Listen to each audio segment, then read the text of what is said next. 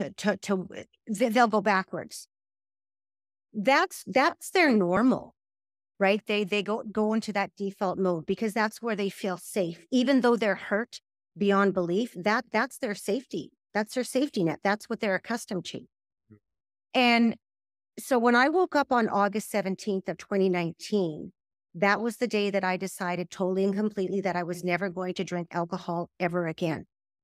And that was the day that I really started to really shift my perspective. And that was also the day that I actually realized what my identity was. Because I had lived my whole entire life where alcohol, uh, mental illness, and abuse was normalized mm-hmm. because that was the environment that I was brought up in. So it doesn't matter if you're brought up in in a happy environment, that's your normal.